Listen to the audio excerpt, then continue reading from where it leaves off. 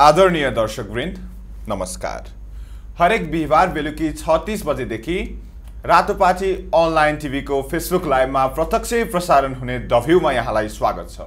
म कुबेर पाठक। यो समाजमा यस्ता धेरै पात्रहरू हुनुहुन्छ जसले आफ्नो इच्छालाई चाहनालाई समाजले केही भन्छ कि भन्ने डरले आफैभित्र समाप्त गर्नुभएको छ। तर त्यस्ता केही पात्रहरू पनि हुनुहुन्छ जसले समाजले के भन्छ भन्दा पनि मैले के गर्नुपर्छ र के गर्दा ठिक हुन्छ भन्ने मान्यतालाई लिएर स्थापित हुनुहुन्छ।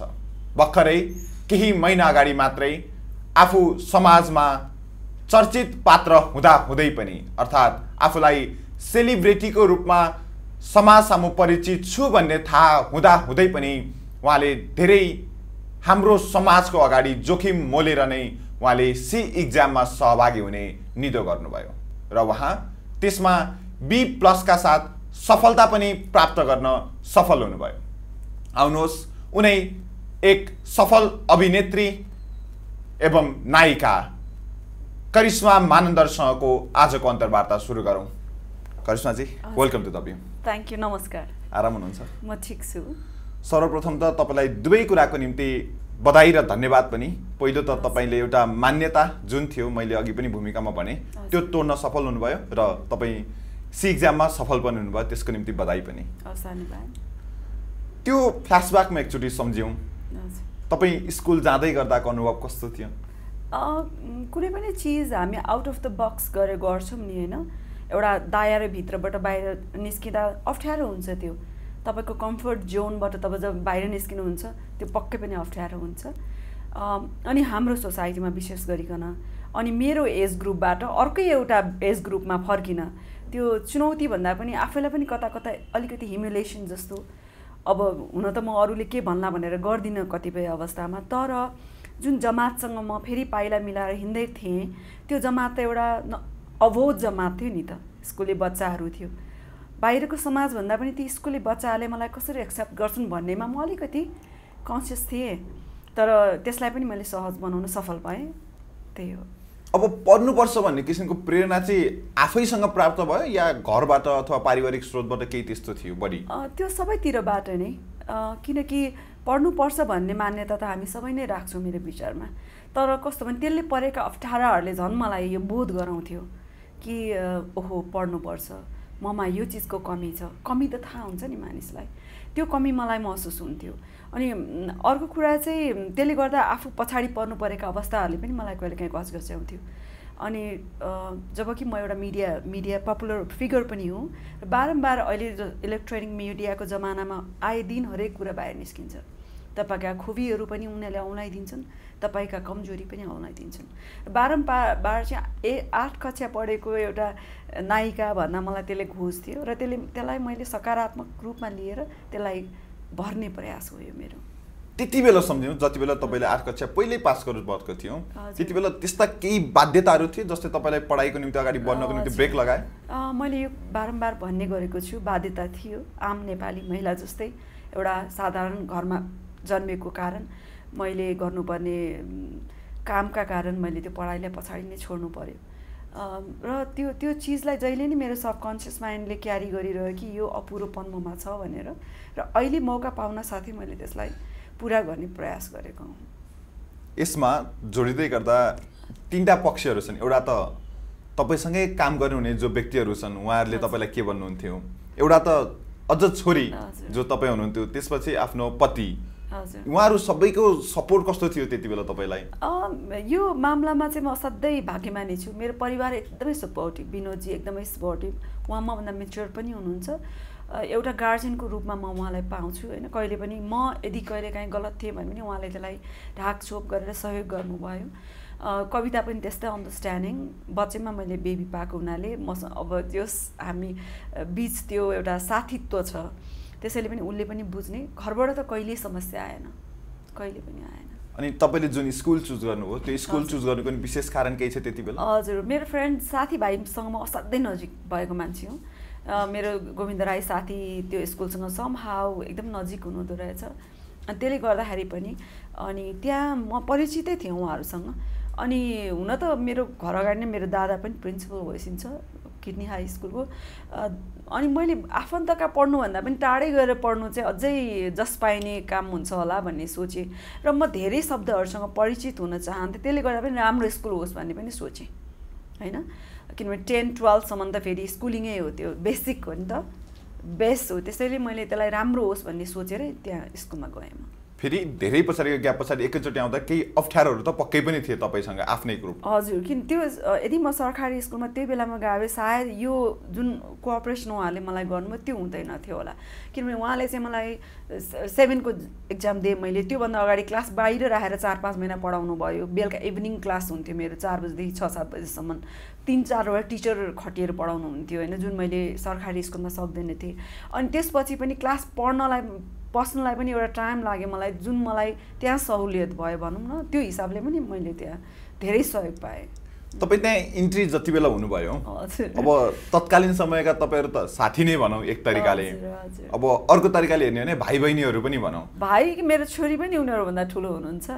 तिनीहरू भनेको चाहिँ पन्ध्र म जब एटमा क्लासमा छिरेँ त्यो बेला उहाँहरू सायद बा टुवेल्भ थर्टिन हुनुहुन्थ्यो। अहिले दे आर सिक्सटिन सेभेन्टिन भनेपछि my daughter is twenty two हेर्नुहोस् है। अब त्यो कारणले उहाँ एकदमै त्यो फरक तर एउटा कलाकारले त्यहाँनिर सहयोग गर्यो। एउटा कलाकार भएको नाताले चाहिँ म उहाँहरूसँग सहजै घुलमिल हुन सकेँ। त्यो गुण जुन तपाईँसँग थियो त्यसले सहजता प्रदान सहजता प्रदान गर्यो। अनि उहाँहरूको रेस्पोन्स कस्तो थियो तपाईँहरूलाई? सुरुमा जाँदै गर्दा आश्चर्यता थियो या? चाहिँ अप्ठ्यारो धेरै अप्ठ्यारो किनभने एउटा ठुलो मान्छे बसेर पढाएर चाहिँ अलिकति डर पनि जस्तो टिचरहरूसँग डराउनुहुन्छ नि प्रायः। अब त्यहाँ यदि भनियो भने टिचर नहुँदा यस्तो त्यो सानो करा जस्तो बाँसको झ्याङमा जस्तो हुन्छ है। त्यस्तो आवाज हुन्छ टिचर आउन साथ पिन ड्रप साइलेन्ट हुन्छ नि जुन। त्यो केही दिन रह्यो। त्यो एउटा ग्राभिटी हुन्छ नि। त्यो we all can feel that जस्तो भइरहेको थियो। अनि त्यसपछि बिस्तारै त्यो ब्रेक भयो त्यो त्यो त्यो साइलेन्स ब्रेक ब्रेक भयो। हुँदै गयो। अनि उहाँहरूले एकदमै हुन थाल्यो अनि त्यसपछि म पनि सँगसँगै लाएर टिचर नहुँदा साह्रो बाँसको झाङमा साह्रो करा जस्तो गर्न थालेँ। सो उहाँहरूसँग मिले त्यसरी। टिचर्सहरूलाई अप्ठ्यारो थियो अलिकति। तपाईँहरू पनि उहाँ जस्तो बनिदिनु भयो त्यति हजुर किनभने जे हो त्यही हुनु पऱ्यो नि त। भनेपछि तपाईँ पनि साइड टकहरू बेलामा मजाले गर्नु मजाले गर्थेँ अनि वी युज टु लाइक हुन्छ नि चक्लेट लिएर जाने किनभने हाम्रो स्कुलमा बाहिरको फुडहरू अलाउड छैन। मैले लिएर जानु म मिल्थ्यो। मैले रुल्सहरू ब्रेक गर्थेँ कहिले काहीँ। अनि त्यो एउटा जस्ट फर फन होइन त्यसको लागि गर्थ्यौँ। अनि टिचरहरूलाई अलिक अप्ठ्यारो थियो जस्तो लामा सर सुप्रिया म्याम बाहेक अरू टिचर चाहिँ कहिले काहीँ नयाँ टिचरहरू आउनुहुन्थ्यो। होइन नयाँ टिचर आइसकेपछि एकछिन त उहाँलाई स्कुल म्यानेजमेन्टले एक्सप्लेन गरेर हुँदैन त्यो करिसन अन्डर त्यो क्लासमा छ भनेर। अनि उहाँ आएपछि एकछिनसम्म उहाँ थुक्निल हुन्थ्यो घुम्नुहुन्थ्यो यसो गर्नुहुन्थ्यो अनि इन्ट्रोडक्सनबाट हामी सुरु गर्थ्यौँ। अनि बल्ल मेकस्योर हुन्थ्यो ओ सिज द्याट होइन। भनेपछि अनि बल्ल बाहिरबाट सुनेको हुन्छ होला अलिअलि। पछि एडजस्ट गर्नुहुन्थ्यो। त्यो चाहिँ कहिलेकाहीँ एकदम हाँसु टिचरहरूमा पनि करिश्मा मानन्दर पनि अहिलेको लागि त विद्यार्थी हो भन्ने कुराको मानसिकतामा परिवर्तन ल्याउन अलिकति समय लाग्थ्यो। एक हप्ता दुई चार दिन लाग्थ्यो त्यो अनि धेरै पछाडि स्कुल ड्रेसमा लाएर जाँदै गर्दा आफैलाई चाहिँ कस्तो महसुस हुन्थ्यो? कहिले काहीँ ऐनामा त हेर्नुभयो होला। मेरो खासमा स्कुलमा स्कर्ट छ मेरो लागि चाहिँ उहाँहरूले प्यान्ट अलाउड गर्नुभएको थियो। अनि स्कुलमा चाहिँ म अरू ड्रेसहरू लाएर पहिला सुरु सुरुको दिनमा गएँ। तर मैले त के के पाएँ भने त्यो सेन्टर अफ एट्र्याक्सन अरूको ध्यान मतिर आकर्षित भइरहेको जस्तो महसुस गरेँ। Why do you need dress त्यही रहेछ क्या किन कुनै सङ्घ संस्था अथवा कुनै स्कुल अर्गनाइजेसनमा ड्रेस चाहिन्छ भन्दाखेरि त्यो त्यही सबै समानताका कायम गर्नको निम्ति हुनुपर्छ। त्यस कारण म पछि ड्रेसमै जान थालेँ। पछि आफैले आफैलाई ऐनामा हेर्दा अलिकति फरक महसुस गर्नुभयो त्यो ड्रेसमा? धेरै भावनामा पनि अन्तर पाएँ जस्तो छुट्टी भयो भन्दा खुसी लाग्ने। आज साइन्सको टिचर आउनु भएको छैन भन्दा हो नि होइन। जब कि मैले सोच्नुपर्ने मेरो एजले त आउनु भयो हुन्थ्यो अझै पढाइदिए हुन्थ्यो हुन्थ्यो नि। तर त्यो जस्तो इन्भाइरोमेन्टमा बस्यो सेभेन एट आवर्स त्यही हुँदो रहेछ मान्छे त्यस्तो पाएँ मैले आफूलाई पछि। अनि तपाईँले जुन प्राप्त गर्नुभयो अन्तिमको नतिजाको कुरा गरौँ बी प्लस जुन प्राप्त गर्नुभयो त्यो तपाईँको लागि कतिको सरप्राइज अथवा अपेक्षित नै थियो त्यो नतिजा? थियो। करिब करिब तपाईँ त्यस्तैको हाराहारी नै सोचिराख्नु भएको थियो? राम्रो हुन्छ भन्ने थियो तर एक दुईवटा पेपर मेरो जस्तो म गोदावरी बसेका कारणले एक दिन चाहिँ म लेटै पुगेँ। अनि दुईवटा पछाडिको लङ क्वेसन छुट छुटेछ मेरो लेटै पुगेँ। म अनि म आत्ति पनि रहेको थिएँ किनभने हर्न बजाउँदै जाँदाखेरि अनि पपुलेसन पछिको समयमा मैले अप्सनल म्याथ स्विच गरेर पपुलेसन ल्याऊ सो त्यो किताब किताब मैले एक दिन मात्रै पढेर भोलिपल्ट ल्याएको थिएँ population so it was a alternative subject मैले अप्सनल म्याथलाई स्विच गरेको थिएँ त्यही भएर तपाईँको स्ट्रङ जोन चाहिँ त्यति बेला कुन रहेछ? तपाईँ आफै आफैलाई मद्दत गर्दै गर्दा पनि। Whatever you're concentrate on you will be strong on that only see मैले के भने म एकदम म्याथमा कमजोर छु होइन? म असाध्यै चाहिँ के अरे साइन्समा कमजोर छु भन्ने जब मैले मानसिकता बनाएँ त्यसैको टिचर राखेँ त्यसैमा बढी फोकस भयो नि। पछि गएर मलाई त्यो चाहिँ सजिलो हो कि जस्तो भयो झन्डै झन्डै। अब जोस् न म जस्तो मान्छेले सिक्सटी पर्सेन्टभन्दा बढी म्याथ सल्भ गर्नु भनेर धेरै ठुलो राम्रो कुरा जस्तो लाग्यो पछि भने पछाडि मलाई स्योर हुन्थ्यो त्यो बारेमा मैले राम्रो गरेको छु यसमा भनेर। भनेपछि हामीले हाम्रो मानसिकतामा अहिले पनि जतिजना दर्शक वृन्दहरूले हेरिराख्नु छ हामीले गाह्रो गाह्रो छ भनेर सोध्दै गयो भने त्यो आफै गाह्रो बन्दै जाँदो रहेछ हामी आफैले गाह्रो बनाएको रहेछ। अनि अर्को कुरा चाहिँ यस्तो छ हामी जे आउँदैन नि तिमीलाई आउँदैन। फाइन नआउनु नराम्रो कुरा होइन। त त्यो नआउनेलाई बेसकन गर्न खोज्नु त कोसिस त गर्ने हो तर बेसकन गर्न खोज्नु नराम्रो। स्किप द्याट अर्को आउँछ नि त।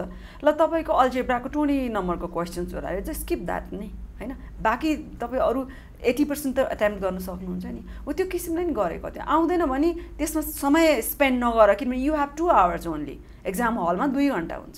दुई घन्टामा तपाईँले के गर्न सक्नुहुन्छ? बेस्ट से बेस्ट म चाहिँ त्यसैमा फोकस्ड भएँ। दुई अथवा तिन? तिन घन्टा? कुनै कुनै सब्जेक्टमा तिन। अप्सनल म्याथमा तिन थियो तर मैले चाहिँ टु आवर्समै निक्लेँ म फेरि पपुलेसनमा किनभने लेख्ने बाँकी नै केही पनि थिएन होइन? स्पिड ढिलो थियो तर अप्स त्यो अप्सनल पपुलेसनमा के लेख्ने? अब त्यो त्यही भएर पनि कम नम्बर आयो जस्तो लाग्छ। जस्तो अप्सनल म्याथलाई तिन थ्री आवर्स चाहिन्छ। होइन? इक्वेसन्सहरू त एकदम धेरै धेरै लामो हुन्छ नि कुनै डिफिकल्ट हुन्छ होइन?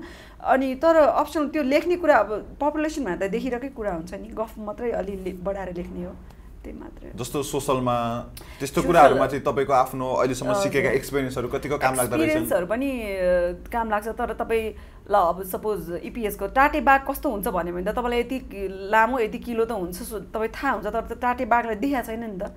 पढ्या त्यस्तै राम्रोसँग पढ्या हुँदैन। सो के कति गफ दिने त?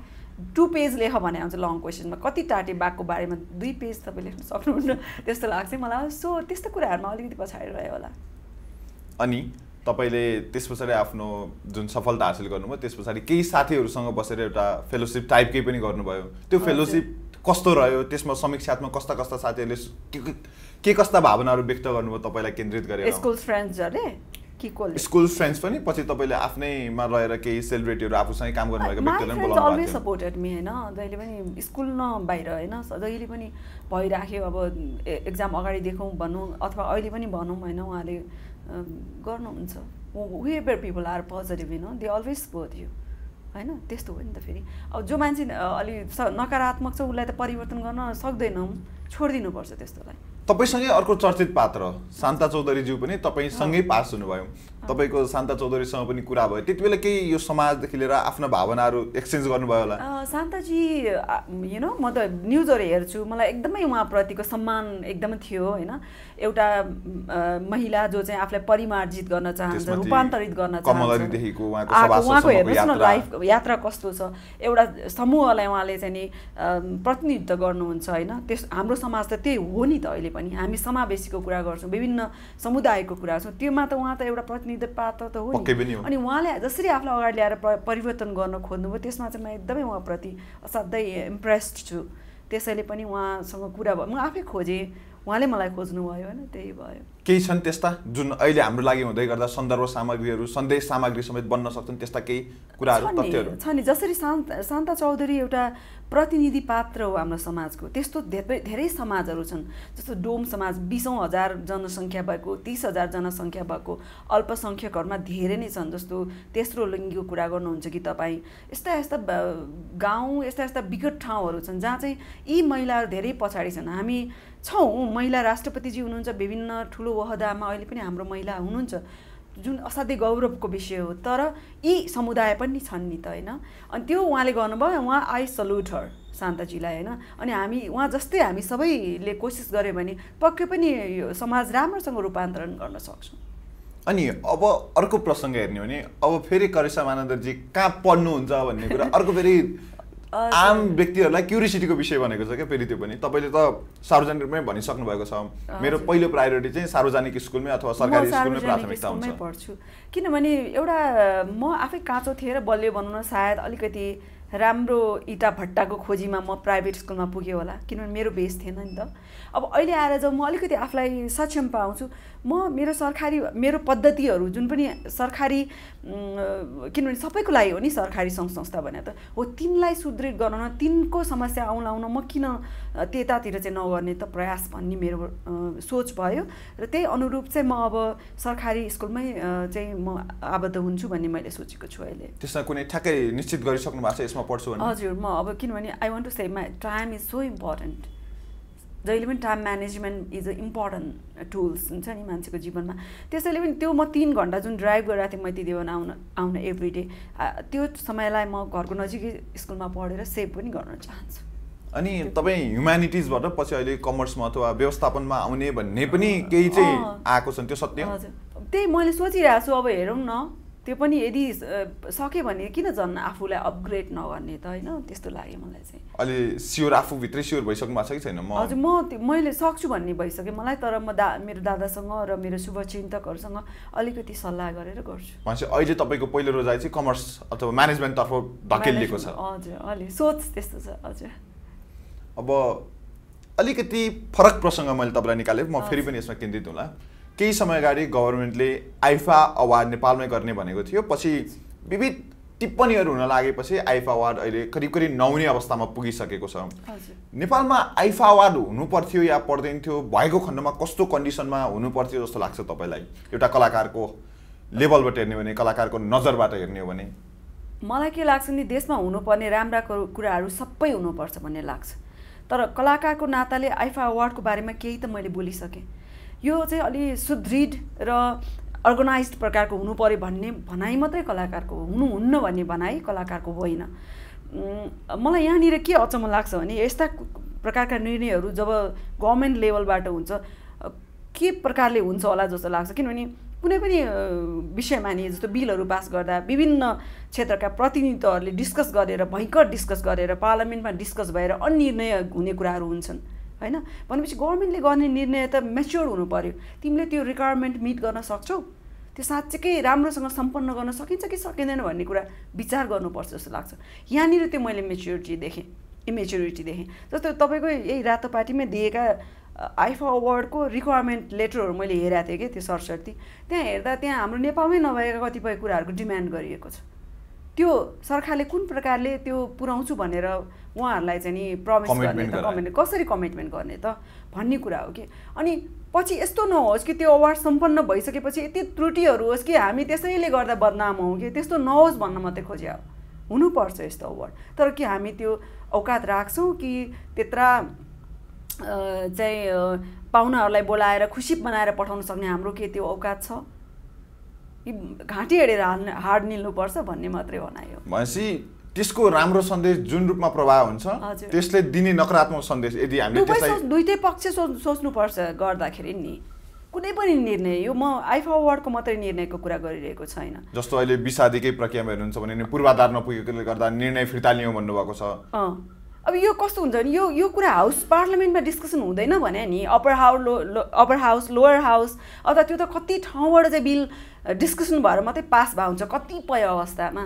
यस्ता निर्णयहरू गर्दाखेरि त्यो एक दिनमा गर्ने निर्णय होला र ती जनप्रति प्रतिनिधिहरू जसलाई जनताले चुनेर पठाएछ उहाँहरूले एकल आफ्नै प्रकारले हिसाबले निर्णय दिनुहुन्छ कि जनताको कुरा सुनेर के के चाहिन्छ समाजलाई भनेर निर्णय गर्नुहुन्छ के?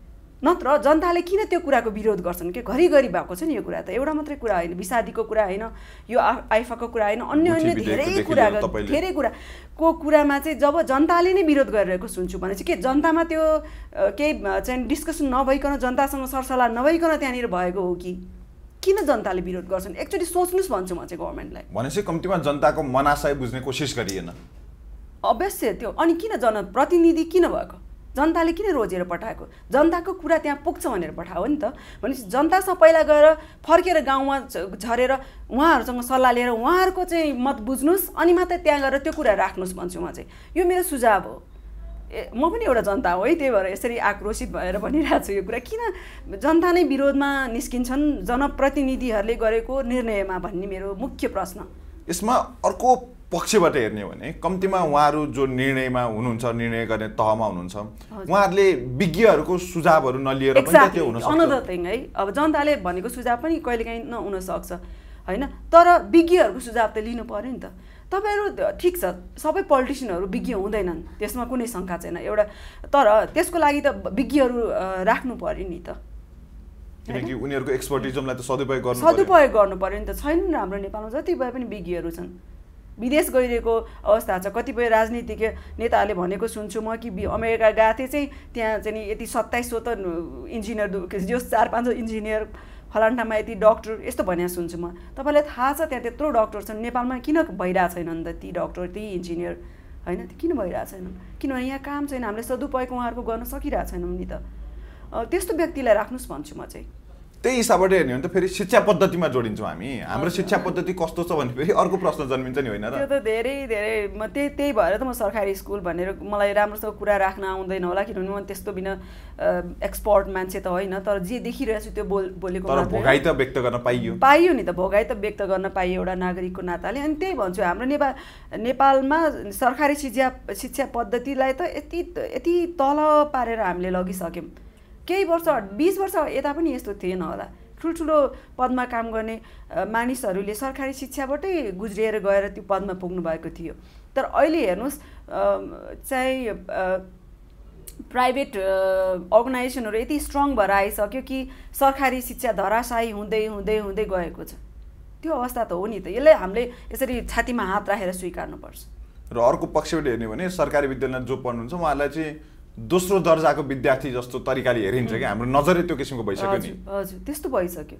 जबकि सरकारी शिक्षालयहरूमा टिचरको प्राइभेटको भन्दा राम्रो चाहिँ सहुलियत र चाहिँ आय आर्जन हुन्छ। त्यसो किन? दुवै सन्तुलित हुनु पर्यो। विद्यार्थीले शिक्षा पनि राम्रो पाउनु पर्यो टिचरलाई पनि आय आर्जन राम्रो हुन दिनु पर्यो दुवै हुनु पर्यो। त्यसपछि इन्फ्रास्ट्रक्चरको कुरा गर्ने भने सरकारीमा हजुर। यति धेरै ध्वस्त भइसकेको छ अवस्था हेर्नुहुन्छ भने। सहरी केही विद्यालयहरू होलान्। तर आज पनि तपाईँ सबै सात छयत्तर पचहत्तर सतहत्तरवटा प्रदेशमा जहाँ के अरे जिल्लामा जिल्लामा। जानुहुन्छ भने कतिपय ठाउँमा स्कुलै छैनन्। होइन? कतिपय ठाउँमा छ महिना मात्रै स्कुल सञ्चालन हुन्छन्। अनि मैले देखेको अलिकति म अब पोलिटिक्समा नि भएको कारण शिक्षकहरू बढी चाहिँ अलिकति पोलिटिक्सतिर पनि झुकाव भएको मैले पाएँ। होइन? फर्स्ट तपाईँको पहिलो प्राथमिकता के केलाई हुनुपर्ने हो? एउटा जागिरेको नाताले। तपाईँले दिने शिक्षा गुरुको रूपमा हुनु पऱ्यो नि। अनि मात्रै तपाईँ त्यसपछि तपाईँ स्वतन्त्र हुनुहुन्छ पोलिटिक्स गर्न पनि हुनुहुन्छ तर तपाईँको प्राथमिकता दिने थलो भनेको पहिला विद्यालय नै हो नि त शिक्षकको नाताले। त्यो पनि होस् पुऱ्याउनुपर्छ भनेपछि शिक्षकहरू राजनीतिक कर्मी मात्रै हुनुभयो सफल शिक्षक हुन सक्नु भएन तर त्यस्तो छ के? त्यस्तो छ। किनकि यो त फेरि रोग हो नि त। सानो देखियो सिम्टम्स मात्रै देखियो भने फेरि धेरैतिर फैलिन्छ रोग न हो। अँ यो त एकदमै हामीले केलाई प्रायोरिटीमा राख्ने भन्ने कुरा जब हामी हरेक नागरिकले एकदम सचेत भएर सोच्दैनौँ गलत चिज गलत गलत ठाउँमा हुन जान्छ भन्न खोजेको मैले त्यो। अब अलिकति चलचित्रतर्फ धकेलिने हो भने? हजुर। फेरि नयाँ चलचित्रमा काम गर्ने पक्षमा जोडिनु भएको छ कि छैन? त्योतर्फ फेरि रुचि राख्नु भएको छ कि छैन? अब यस्तो हुँदो रहेछ। यो सिनेमा भनेको एउटा ट्रेन्डलाई फलो गर्ने चिज हो होइन? नयाँहरू आगन्तुकहरू आउँछन् पुरानोहरू धक्लिँदै जान्छन् यो चाहिँ यस्तो इट्स लाइक अ फ्यासन होइन? अब अहिले म त धेरै टाढिसकेँ जस्तो लाग्छ सिनेमामा। तर त्यही पनि साथीभाइसँग भेटघाट यस्तो त हुन्छ होइन? अब रोल राम्रो आएमा भविष्यमा गर्न पनि सक्छ। जस्तो तपाईँसँगकै सहकालीनकै रूपमा हेर्ने हो भने निता सिंह चाहिँ। फेरि अब नि अहिले हिरोइनकै रूपमा आगमन भइसक्नु भएको छ उहाँको। त्यस्तो होइन। अब अहिले चलचित्रको पात्र हेरेर गर्ने पनि बेला आइसक्यो तर राम्रो पात्र भयो भने अवश्य नै अहिले पनि म गर्छु। त्यस्ता केही अफरहरू आएको छन् तपाईँलाई? एक दुईवटा आएको छन् तर मैले गर्नुपर्ने जस्तो मलाई लागिरहेको छैन। मान्छे अब अगाडि बढ्दाखेरि तपाईँका प्रायोरिटीको क्षेत्रमा के के पर्छन् त? तपाईँ अब अगाडि बढ्दै जाँदाखेरि।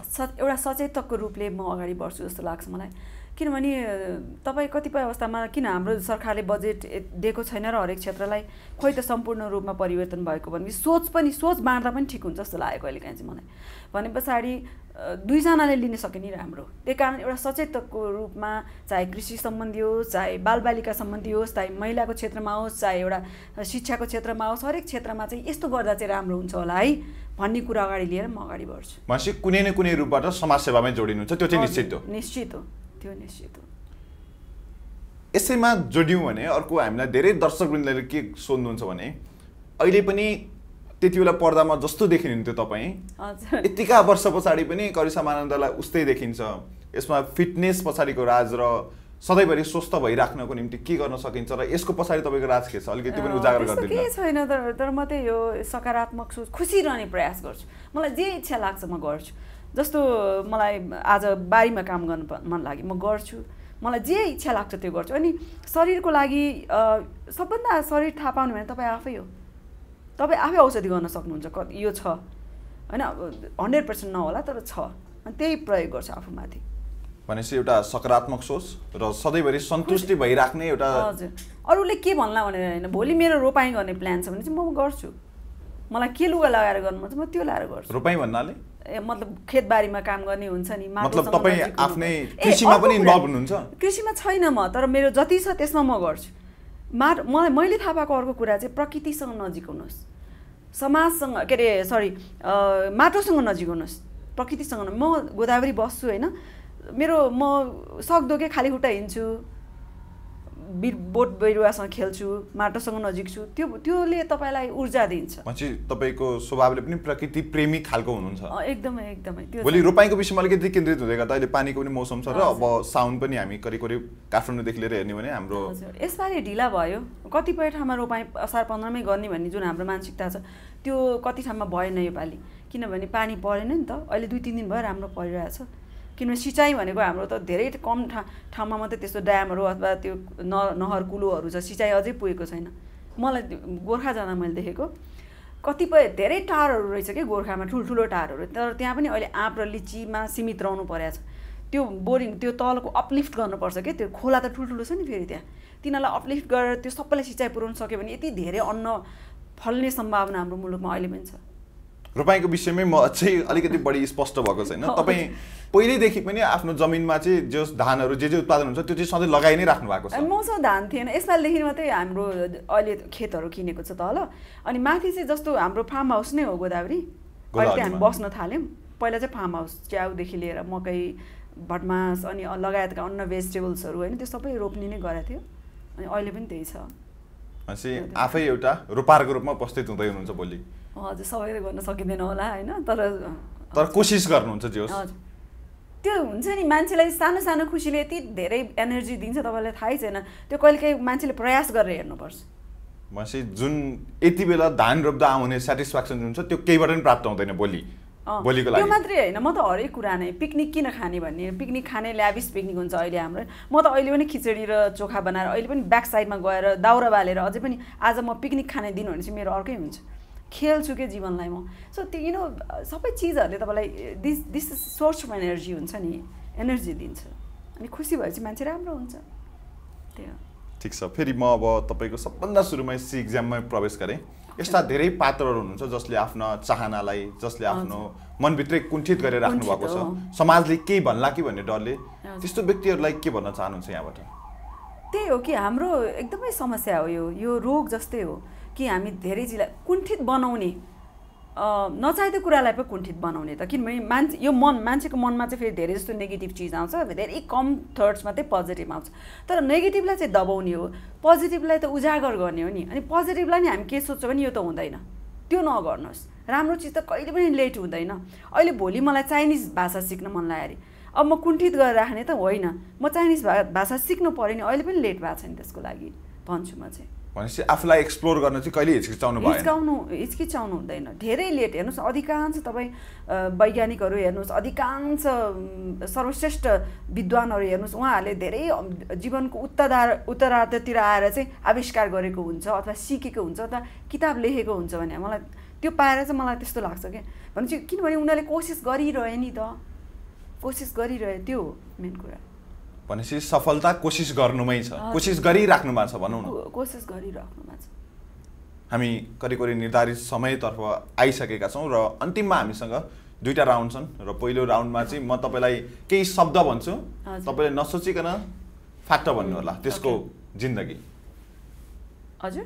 जिन्दगी तपाईँ के बुझ्नुहुन्छ? म एउटा शब्द भन्छु। तपाईँलाई जे लाग्छ अहिलेसम्म तपाईँले सुख। अप टु यु आफूमा भर पर्ने कुरा। ठिक त्यसको विपरीत दुःख। दुःख दुःख पनि तपाईँमा भर पर्ने कुरा हो। प्रकृति। जीवन। सङ्घर्ष। सङ्घर्ष सङ्घर्ष के हो? सङ्घर्ष त हरेक क्षणमा आउने कुरा हो हरेक क्षण नै सङ्घर्ष। कवितामा आनन्द I love her I cannot live without her in fact चलचित्र। माई लभ त्यो पनि। B plus B plus happiness achievement Godavari I love nature त्यही भएर गोदावरी मेरो नामै निकनेम गोदावरी भन्छ। तपाईँलाई थाहा छ एउटा कुरा मान्छेले? तपाईँ गोदावरीप्रति धेरै नै त्यसो होइन। अहिले त अब त्यहाँ पनि यति डेन्स भएछ पपुलेसन है। अब त्यहाँभन्दा माथि डाँडातिर सर्ने त ठाउँ अब सोच्न पनि सकिन्न। त्यो हिसाब but the reason why I'm in Godavari is the nature राजनीति बुझ्नुपर्ने कुरा। त्यस पछाडि म मन पर्नेतिर जान्छु। हजुर। मनपर्ने खाना। एभ्रिथिङ सिम्पल सिम्पल त्यस्तो विशेष केही छैन। केही छैन। सबै कुरा उत्तिकै प्यारो लाग्छ। प्यारो लाग्छ। अझ फेरि चाहिँ म अलिक अर्ग्यानिक भेजिटेबलतिर बढी बल गर्नु। बल गर्छु। मनपर्ने पोसाक। साडी। मन परेको फिल्म टाइटेनिक लभ स्टोरी मलाई मनपर्छ। कतिचोटि हेर्नु भएको छ याद छ? धेरैचोटि। किनभने त्यो गीत त्यसमा सबैको सम्मिश्रण राम्रो के त्यसको। अनि त्यो एउटा सोच्नै नसक्ने विषयवस्तुलाई पिक्चराइज गरेको। अहिले बनायो भने झन् राम्रो हुन्थ्यो होला जस्तो लाग्छ। किनभने अहिले त झन् त्यो टेक्निकली टेक्नोलोजी। विकास भइसक्यो नि। त्यो बेलामा पनि धेरै राम्रो। मन परेको ठाउँ? अब नेपाल विशेष गरी पोखरा। नेपालको पोखरा विशेष गरी। विशेष गरी। म केही भयो कि पोखरा दौडिहाल्छु? मन परेको पुस्तक। मन परेको पुस्तक त धेरै छ त्यो। जस्तो अरू कसैलाई पनि तपाईँले सजेस्ट गरेको पुस्तक पढ्दै गर्दा उहाँहरूको जीवनमा केही परिवर्तन आउन सकोस् त्यस्ता पुस्तकहरू केही छन् भने सम्झिनु भएको छ भने सम्झेको छैन। म प्रायः जीवनीहरू पढ्छु मानिसको। अब त्यसमा कसैलाई मन नपर्नु पनि सक्छ कसैको होइन? त्यही हो। मनपर्ने नेता। धेरै हुनुहुन्छ त्यो त। अस्ति पनि मैले भनेको थिएँ एउटा इन्टरभ्यूमा होइन? एउटा नट पर्टिकुलर वान अब त्यही हो। एकजना मात्रै हुनु न धेरैजना विभिन्न काल। सबैले योगदान त गरेकै हुन्छ हुन्छ। सक्रिय राजनीतिमा भएपछि केही न केही योगदान गरेको हुन्छ नेताहरूले होइन? तर समग्रमा हाम्रो जस्तो विविधता भएको मुलुकलाई बुझेर गर्न सक्ने नेता अहिलेसम्म देखिनँ मैले चाहिँ। नेपालको। कन्टेक्समा चाहिँ त्यो एउटा मान्छे शिशिर योगीले शिशिर योगीले भनेको एउटा मान्छे खोजिराख्नु भएको छ त्यही नै हो। त्यो कुनै दिन देख्न पाऊँ। र यहाँसम्म आइदिनु भयो हजुर। तपाईँलाई लागेका कुराहरू. अहिले पनि आम दर्शक श्रोताहरूले पनि सुन्नै पर्ने केही कुराहरू छन् तपाईँबाट र केही कुरा अहिले पनि छुटेको छ जस्तो महसुस भएको छ भने त्यो सेयर गर्नको निम्ति यो फोरम अँ, म खासै पोलिटिक्स पनि छुन चाहन्न पढाइ पनि यो भने दिनदिनै गर्दै जाने र बताउँदै जाने चिजहरू हो होइन आफूमा भएको खुबी। तर एउटा कुरा चाहिँ म के भन्न चाहन्छु भने जस्तो यो बदलिदो परिस्थितिमा हामीमा पोजिटिभ नेगेटिभ दुइटै थर्ड्सहरू आइरहेको हुन्छ र त्यसले काम गर्दा सामाजिक सञ्जाल हेरेर मलाई कस्तो महसुस हुन्छ भने हामी नेगेटिभ साइडबाट बढी सोचिरहेछौँ कि हरेक पक्षलाई दुई साइडबाट सोच्नुहोस्। सिक्काको जहिले पनि दुईवटा पहेँली हुन्छ अनि मात्रै त्यो एउटा सम्पूर्ण सिक्का हुन्छ। त्यसैले स्टे पोजिटिभ होइन सकारात्मक सोच्नुहोस् भन्छु म चाहिँ। त्यही हो। हस् यहाँसम्म आइदिनु भयो र आफूलाई उदाहरण बनाउँदै समाजलाई प्रेरित गर्ने कार्यमा यहाँका पाइलाहरू निरन्तर अघि बढिराखुन् भन्ने सिङ्गो रातो पार्टीको टिमबाट सफलताको शुभकामना समेत दिन चाहन्छौँ। यहाँको अमूल्य समय र सम्वादको निम्ति हार्दिक धन्यवाद करिश्माजी हजुर हस् धन्यवाद। नमस्कार।